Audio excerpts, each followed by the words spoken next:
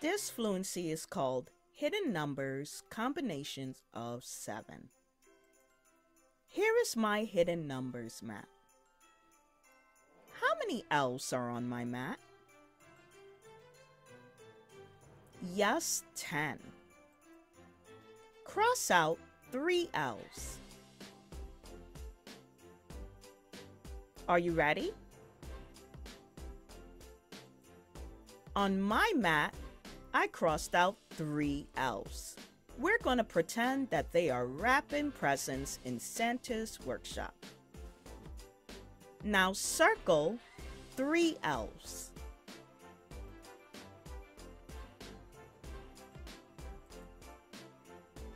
I circled three elves.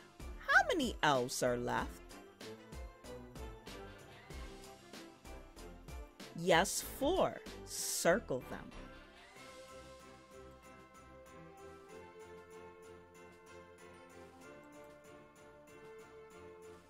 Four L's and three L's.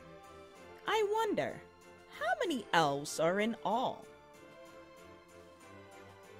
How did you get your answer? Did you put them together? Very good. Let's put them together and count them all. Are you ready? Four and three is seven.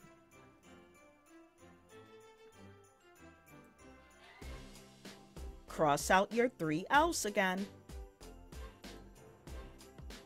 Now circle two L's. How many elves are left now? Circle them. How many are all together?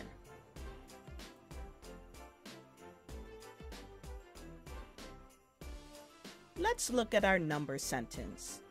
Two elves and five elves is seven L's.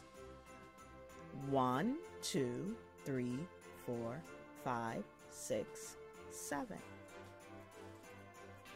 Cross out your three L's again.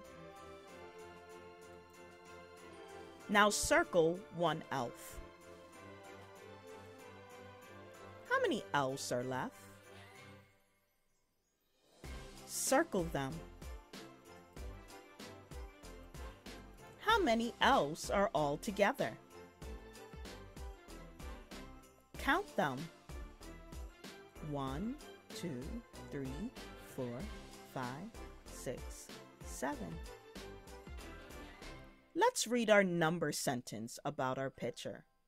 One elf and six elves is seven elves. Cross out three again. Now circle the rest of the elves. How many elves did you circle? How many elves are left? I circled seven elves and there are zero elves left. Let's look at a number sentence about my picture.